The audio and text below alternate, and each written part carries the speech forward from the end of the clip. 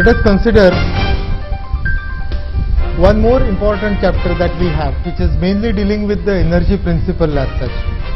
But before we could actually start with the energy principle problems, we will have to first of all recall the Newton's laws and out of that the most important law that is the second law of motion which says that force is directly proportional to rate of change of momentum. Now in the impact problems we have considered what is the momentum. Momentum is nothing but the product m into v. So we can write the equation as force is proportional to d by dt of m into v. Now mass is not the entity which is going to change with time unless the problem is using such an entity. So mass is generally constant and so force will be written as d by dt of mv which is nothing but m into dv by dt and dv by dt is the term which we are specifying as the acceleration that is the rate of change of velocity.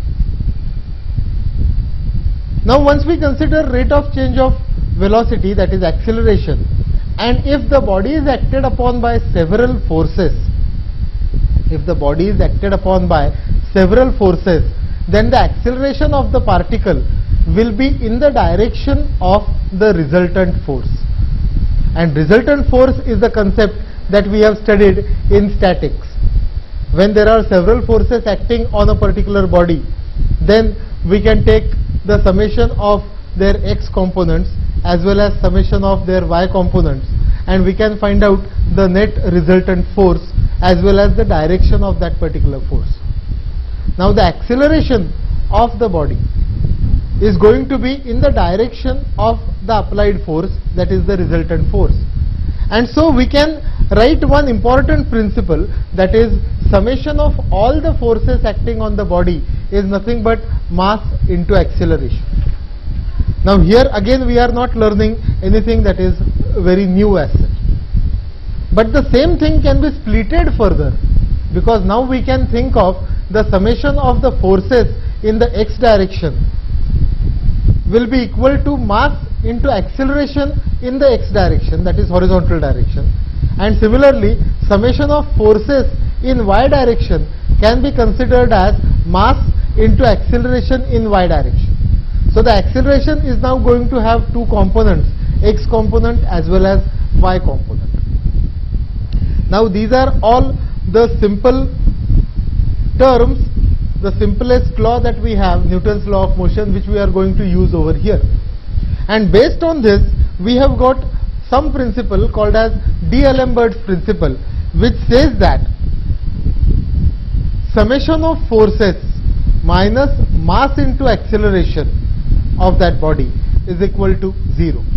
Summation of forces that is sigma f minus m into a equal to 0 is nothing but the D'Alembert's principle.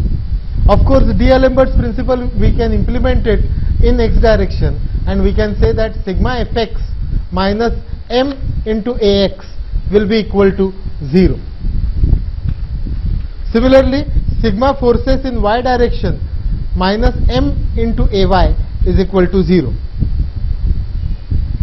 Once we understand this rate of change of velocity type of concept that is acceleration, we can go further to discuss another concept in energy that is the potential energy. The potential energy is nothing but mass into gravitational acceleration into the height. Now actually mg is nothing but the force which is the inertia force.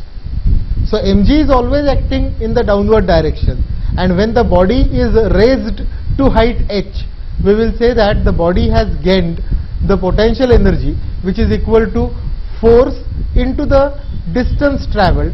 Now the distance traveled is nothing but the height which we are assigning to that particular body which is h because that body is assumed to be at height 0 and then it is lifted up to height h.